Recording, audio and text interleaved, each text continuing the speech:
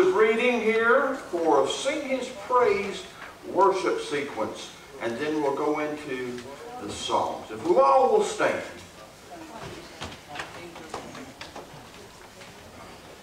I will praise you, O Lord, with my whole heart. I will be glad and rejoice in you. I will sing praise to your name, O Most High. You are my God. And I will praise you. You are my God. And I will. I have trusted in your mercy. My heart shall rejoice in your salvation. I will praise the name of God with a song and will magnify him with thanksgiving. And that comes from Psalms 9, verse, verses 1 and 2, 118, verse 28, chapter 13, verse 5, and 69, verse 30. If we all will sing out loud on these songs.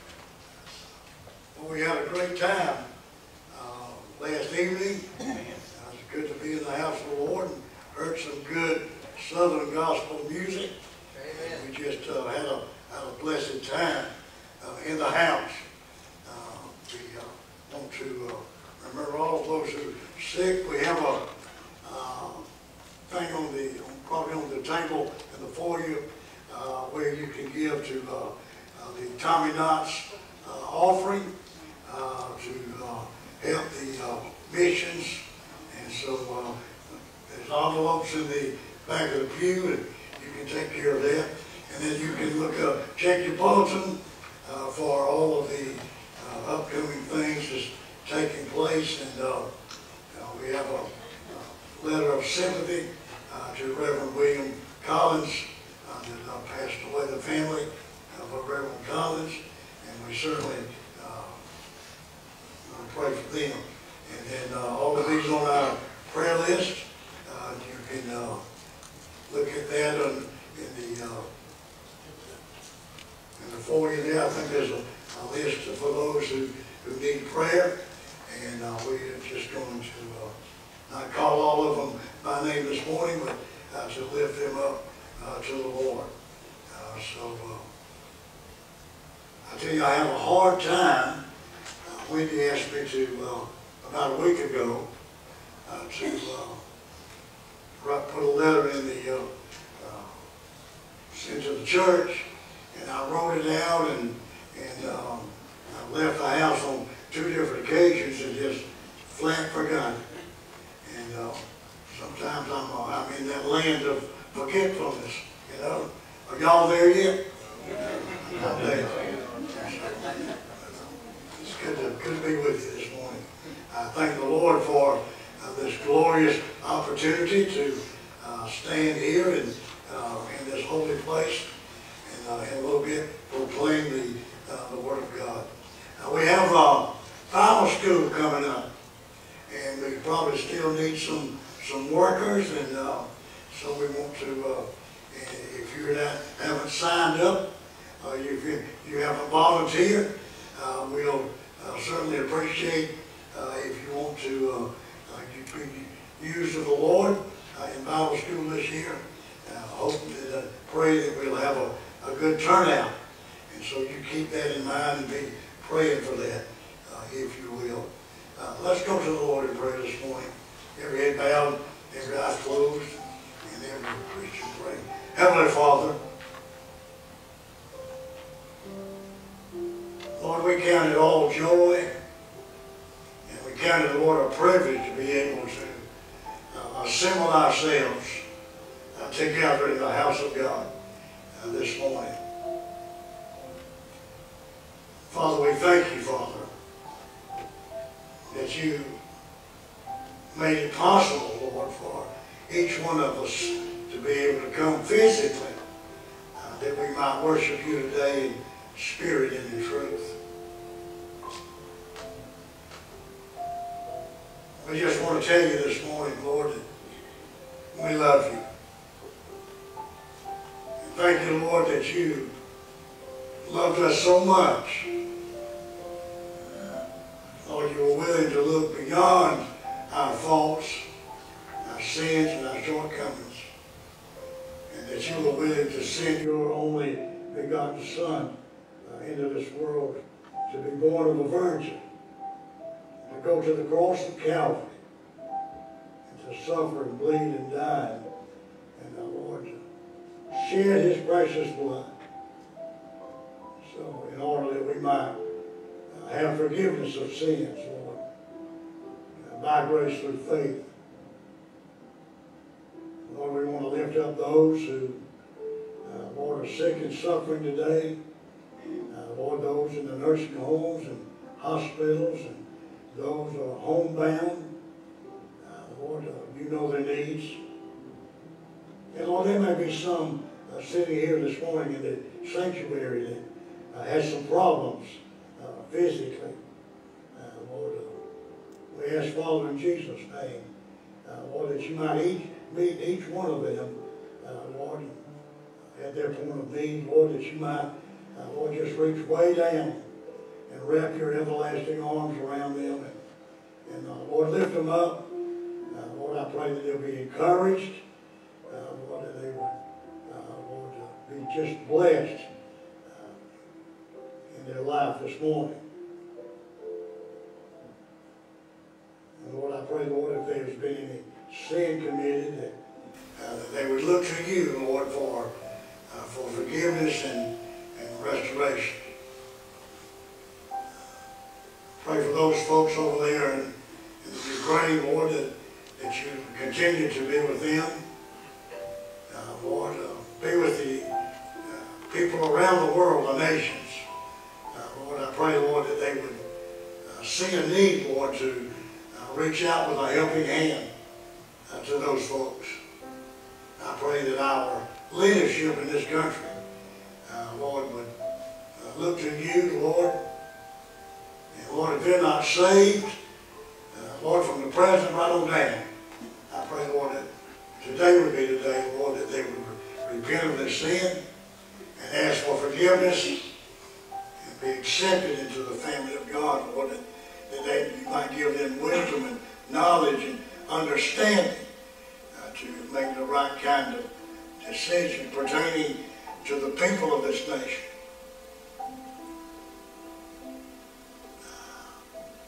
Lord, as we listen to the news and uh, watch, uh, as Billy Graham would say, by way of television, uh, Lord, we, we know we're in a mess.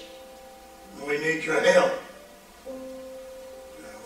Need uh, for a, a revival to break out across this land.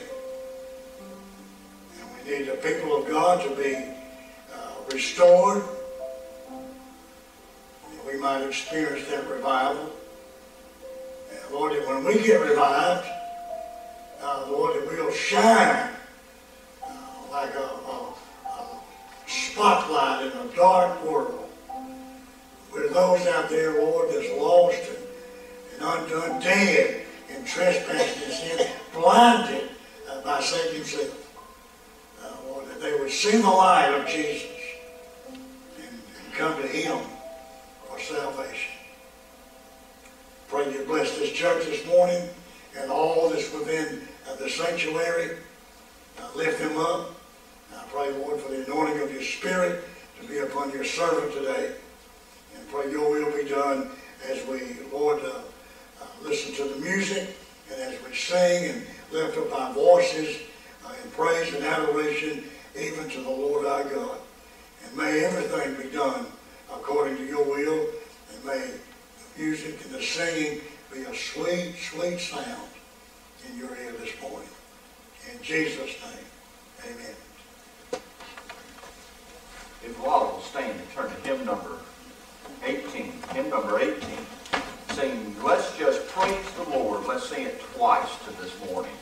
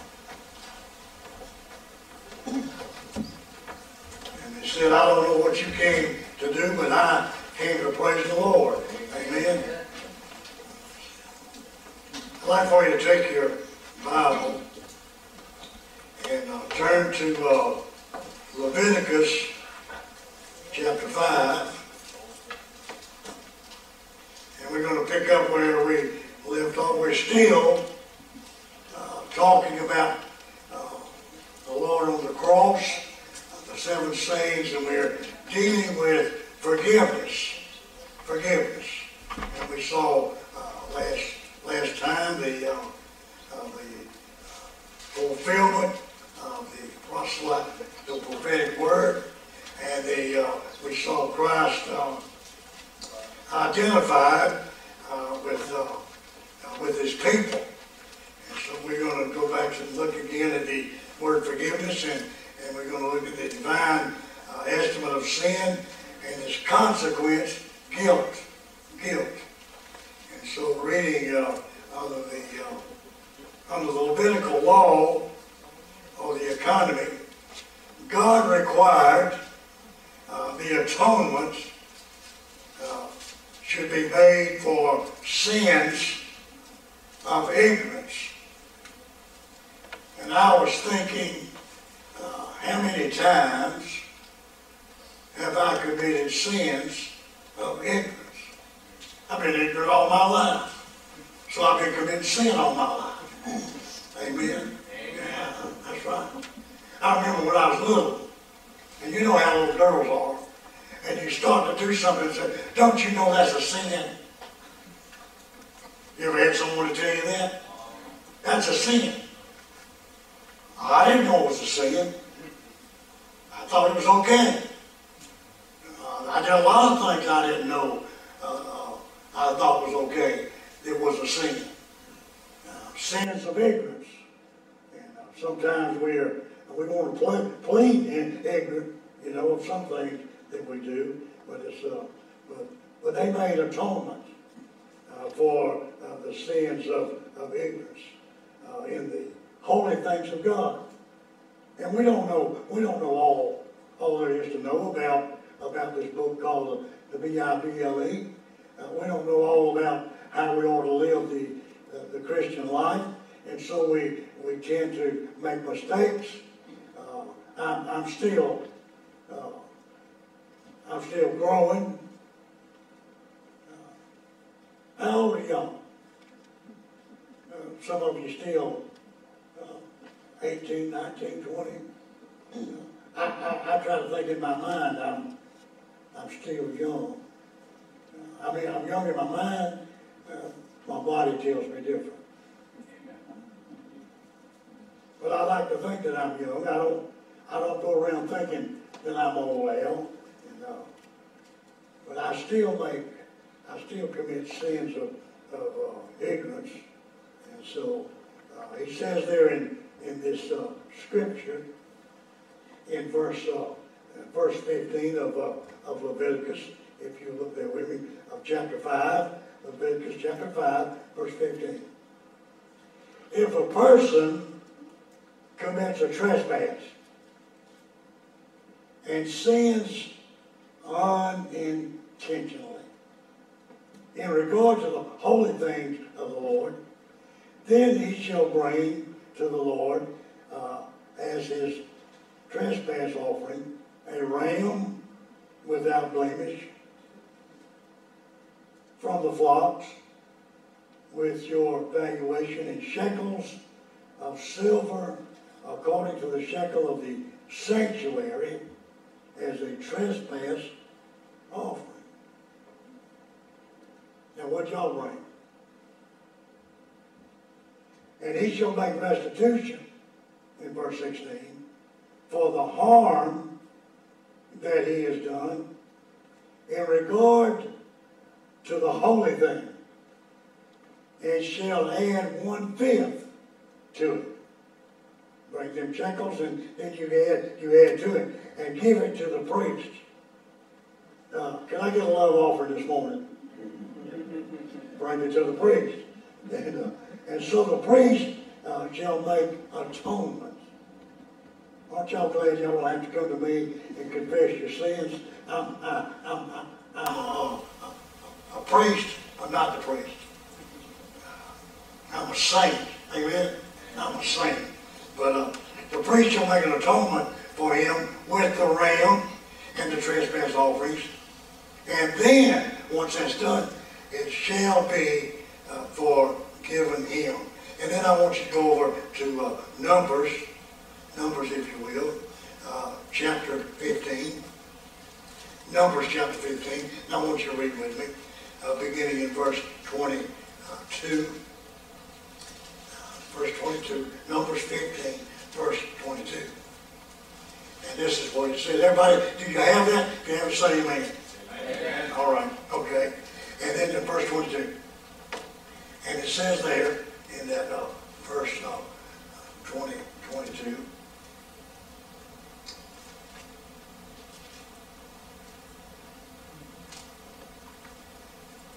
If you sin unintentionally and not do and do not observe all these commandments which the Lord has spoken to Moses, all that the Lord has commanded you by the hand of Moses, from the day the Lord gave commandment and onward throughout your generations, uh, then, then it will be, if it is unintentionally committed, without the knowledge of the congregation, that the whole congregation, now, we're going from one to the whole congregation, shall offer one young bull as a burnt offering, as a sweet aroma to the Lord, with its grain offering and its drink offering, according to the ordinance, and one kid of the goats as a sin offering. So the priest shall make atonement for the whole congregation of the children of Israel, and it shall be forgiven them, for it was unintentional. They shall bring their offering, and an offering made by fire to the Lord, and their sin offering before the Lord for their unintention, unintended sin. And so, and then, and so, and David said, prayed, cleanse thou me, Lord, from my secret, secret sin. Y'all got any secret sins? Secret sins. That's, that's them sins that the congregation don't know about. That's the sins that the priest don't know about. And that's the sins that the preacher don't know about. Secret sins. Y'all got any secret, secret sins? Yeah. Well, sin is always sin in the sight of God, whether you are conscious of it or not. It's still, it's still sin. Sins of ignorance need atonement. Sins of ignorance need atonement. Just as truly as do conscious sins. Now, I believe that every once in a while we might commit a sin of, of ignorance, you know. But conscious sins, I believe when you commit a conscious sin, the Holy Spirit of God is going to prick your heart and you're going to know that you just sinned. And I, I got news for you. The moment that you know it and realize it, that's when you ought to confess it. Don't let the sun go down on your wrath. Because if you're in the place that I'm in, in life, if I can't remember to bring the letter, I know I'll forget to repent.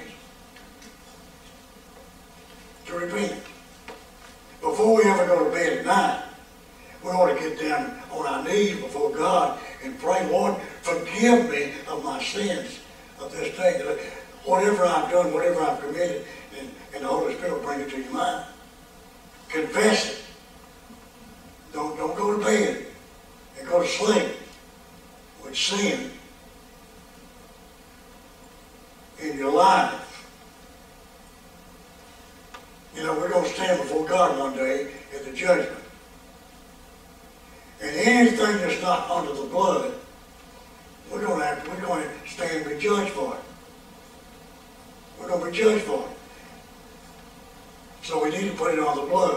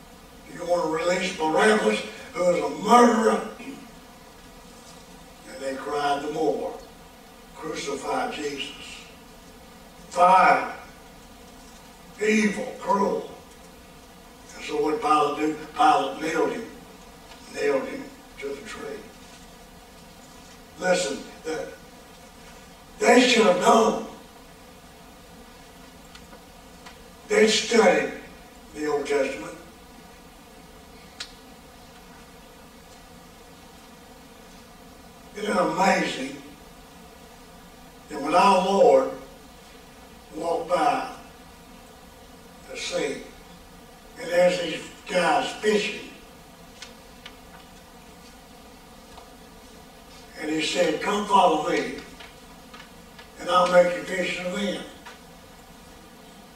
They talk about the disciples being ignorant and unlearned. They were looking for Messiah. They were looking for Messiah. Andrew, when he met Jesus, well, what did he do? He went and found Peter. Come follow me. Come, let me tell you a man I found. Wanted, wanted, wanted his brother to know about the Lord. They knew all about the Lord was going to come. They knew all about it. They'd studied the scriptures. They were learning men. Scribes, Pharisees, priests.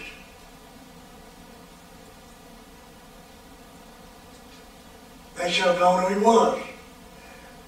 They'd heard about all the miracles that he was performing, seen with their eyes what he was doing.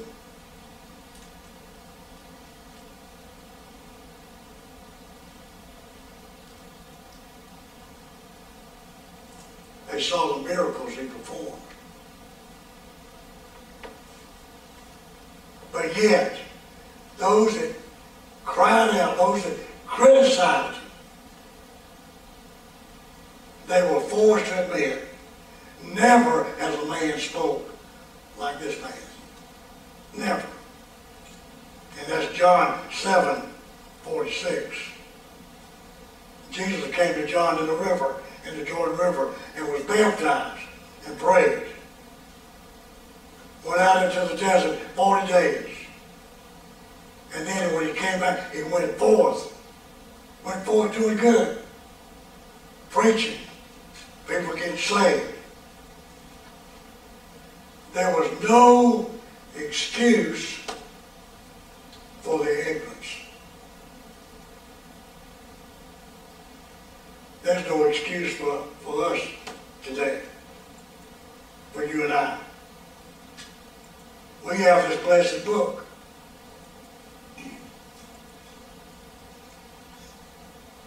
Excuse for them. But you know what? It only demonstrated the blindness, the blindness of their hearts. The Bible says, as a man thinketh in his heart, so is it. And so we're going to stand before God, and we're going to stand there without excuse. We have the blessed Word of God. We have the preaching and the teaching of God's holy Word. We have Christian music.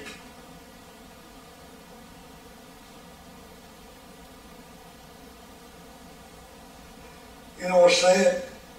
You know what's really sad this morning? They were ignorant. It's still going on today.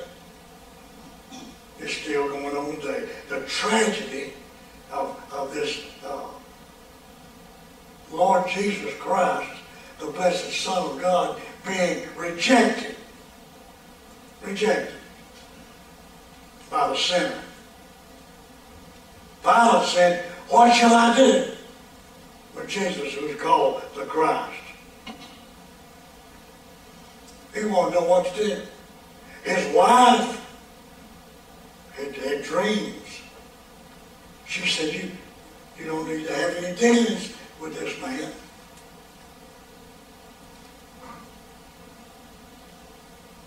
Pilate said, what shall I do with Jesus, who is called the Christ? Let me ask you a question. What are you doing with him? What are you doing with Jesus today? Do you love him with all of your heart? With all of your heart? Are you serving him? Are you serving him today? You see one or two things. You either, you either despise and reject him, or you receive him and serve him. One of the two. You give, you give your whole life. We sing that song, I surrender all. Wonder how many times people lie. Just lie. Stand up in the house of God and say, Lord, I surrender all. All to thee I fully give. No, we don't.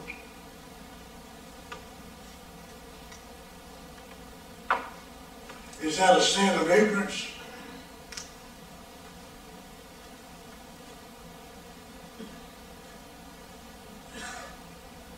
But even our Lord said, Father, forgive them, for they know not what they do. Number five.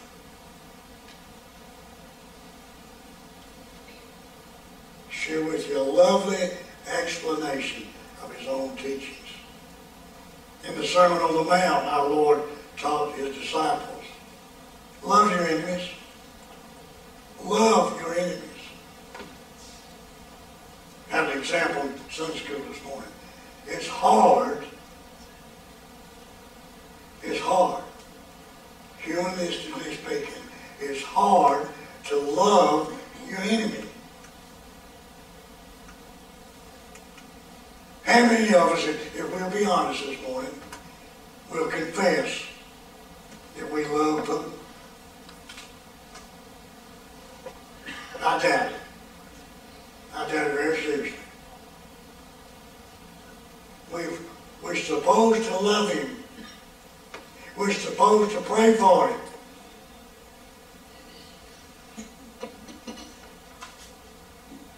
Love your enemies. That's what our Lord taught his disciples. Love your enemies. Bless them that curse you. That's not easy. Even as a child of God, it's not easy for a child of God to bless them that curses.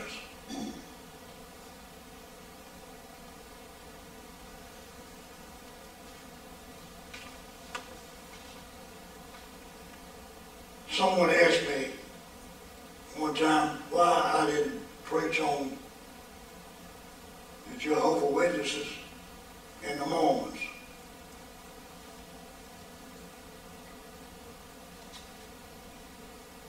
I don't agree with them.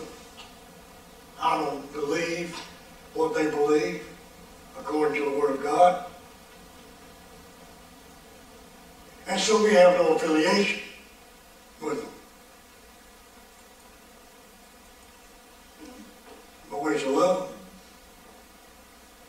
We're to pray for them. That they'll get doctrinally right in, the, in their mind and in their heart according to God's holy word.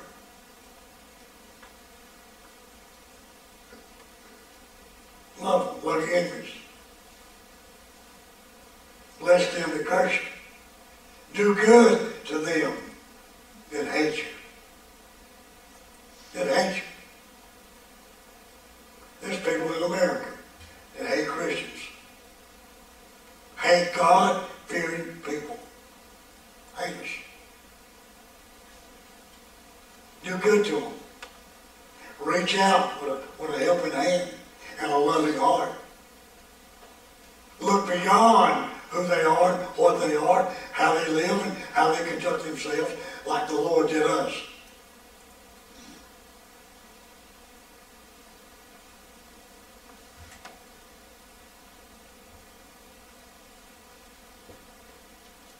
Pray for them that despitefully use you. Do you think people will use you? Absolutely. Absolutely. What about them that persecute you? Pray for them, love them, lift them up to the Lord.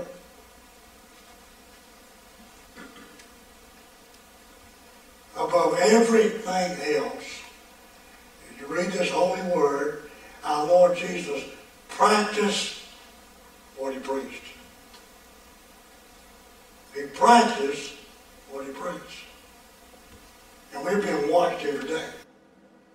Everywhere we go, everywhere we go, people are watching, people are listening. Our Lord practiced what he preached. And are we not supposed to, to uh, emulate him, to be just like him?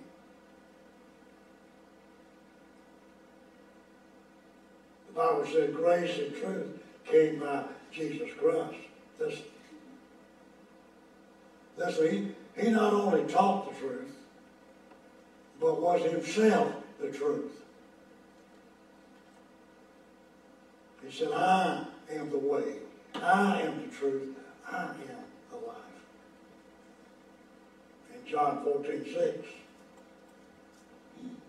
And on the cross, he sets us an example.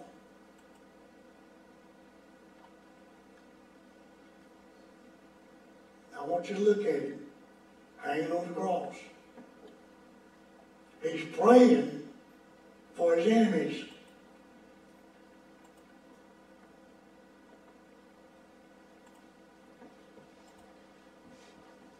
But he did not forgive them. You read the Bible, while he was on the cross, he did not forgive them. He prayed for them. He exhorted his disciples to forgive their enemies, but he does not exhort them. Uh, but he, he did he did exhort them to pray for them. So what, watch this.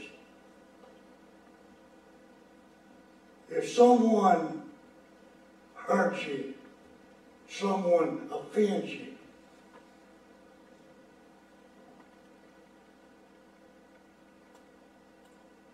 are we not to forgive those who, who wrong us? Are we not to forgive those who wrong us? Does Scripture teach that under all, all circumstances, we must forgive? No. Under all circumstances, no, we do not have to forgive. It does not teach that. So I want you to read with me. I want you to go with me to, to Luke chapter 17. Luke 17.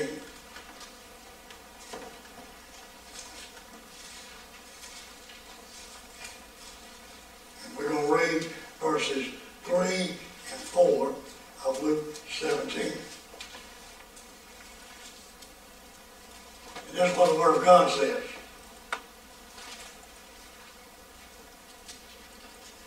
Take heed to yourselves. If your brother sins against you, rebuke him. Let him know what he's done. Inform him of what he's done against you. And if he repents, forgive him. And if he sins against you seven times in a day, and seven times in a day returns to you saying, I repent, you shall forgive him. But if he does not repent, you listen? If he does not repent, you do not forgive him. No, you don't have to forgive him. Listen, we are taught in these verses of Scripture that there is a condition that must be met by the offender before we pronounce forgiveness.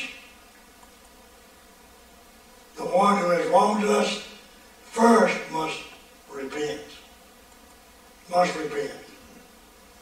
He or she must judge themselves for the wrong and give evidence of their sorrow. That they just can't, they just can't commit an offense, a wrong against us, or you and I as an individual, without repentance. Therefore, we are not, are obligated to forgive them. But suppose, but suppose, the offender does not repent. Suppose he doesn't repent.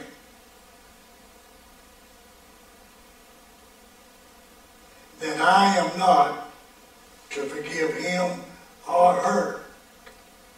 Let there be, let there be no misunderstanding here. Even though the one who has wronged me does not repent.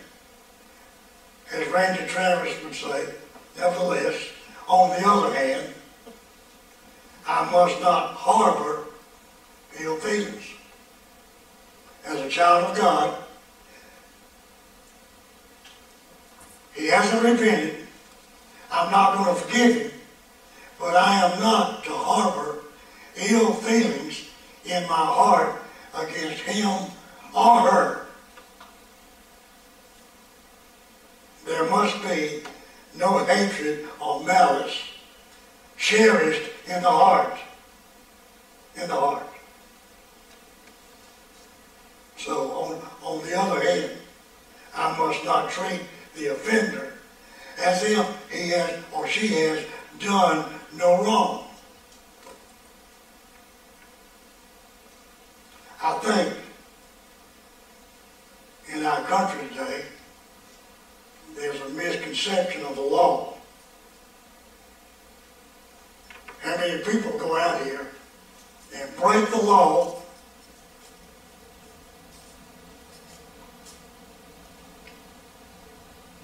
our local police officers, county police officers tell you that these people can break the law, they'll pick them up, put them in jail, and they're out on the street before they turn around good.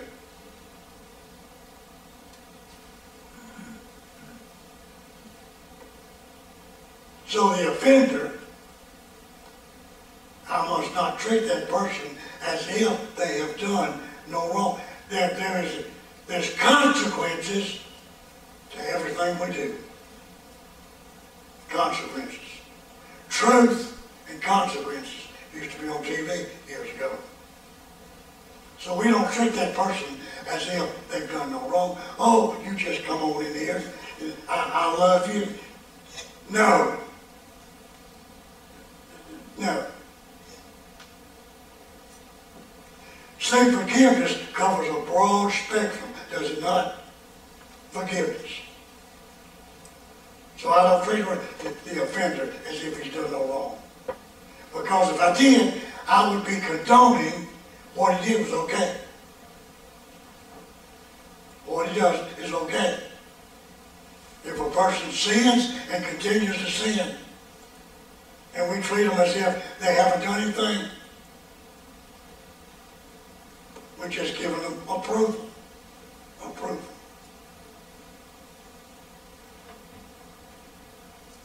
What good does it do if a person robs a store, they're caught, they're put in jail, and in just a few days they're released as if they've done nothing wrong? Because certain lives matter.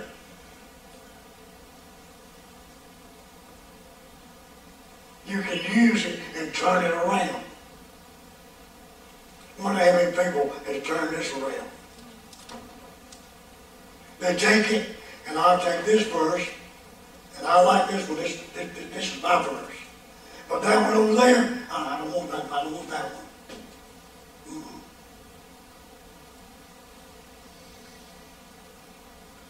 We have to uphold the requirements of righteousness that we ought to do. The Bible, the Bible is plain. Let me ask you a question. Does God, does God in heaven forgive when there is no repentance? No. Absolutely not. God does not forgive. If a man sins, in order to be forgiven, he's got to repent. He has to repent. Forgiveness to be received by God, a person has to repent of that transgression. For the scripture declares in 1 John 1 9, if we confess, confess our sins, God is faithful to forgive us and cleanse us from all unrighteousness, and we are brought back into the fellowship of Almighty God. Restored.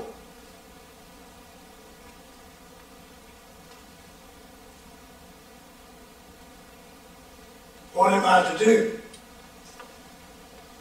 If one has injured me and they didn't repent, what is my obligation to that person? My obligation is that I am to pray for them. I'm to lift their name up before the throne of God and pray that God Almighty would speak to their heart because only God can forgive sins. And I'm to pray to God, my Heavenly Father, lift their name up and, and intercede on their behalf. If you uh, break the law, you might need Henderson Johnson. Well, I have a lawyer sitting on God's right hand. His name is Jesus. Amen. And he intercedes. And I take my petitions and my prayers, and the Holy Spirit presents them before the throne, and the Lord Jesus intercedes on our behalf. And so when I pray for that person, the advocate, the lawyer on God's right hand, he'll intercede for that person.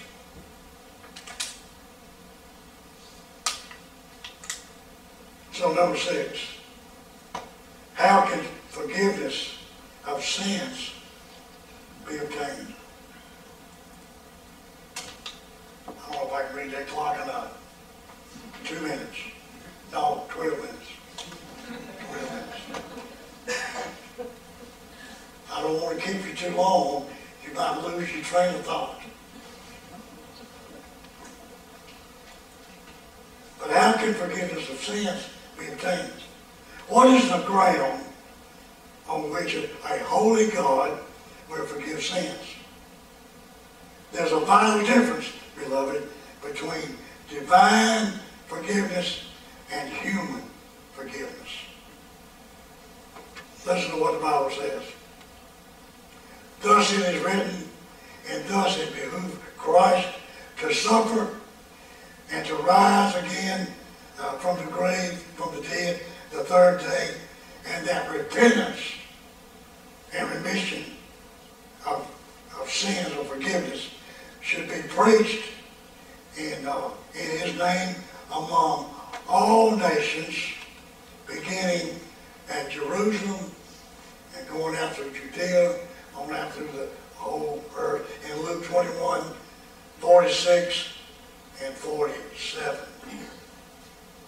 And be it known unto you, therefore, men and brethren, that through this man is preached unto you the forgiveness of sins, and by him all that believe are justified from all things from which you could not be justified by the law of Moses, Acts 13, 38 and 39. Christ was on the cross, shedding his blood when he cried, Father, forgive them, for they know not what they do. He was atoning, making atoning sacrifice. The Bible says, without the shedding of blood, there is no remission, no forgiveness of sins. The blessed Son of God came to this earth knowing full well, knowing full well before he was birthed into this world by his mother, Mary, a virgin. Knew full well that he was going to have to suffer and bleed and die on the tree for your sins and mine. For your sins and the sins Bible says in Colossians 1 4, in whom we have redemption, redemption through his blood, even the forgiveness of sins. Even the forgiveness of sins. I wonder this morning.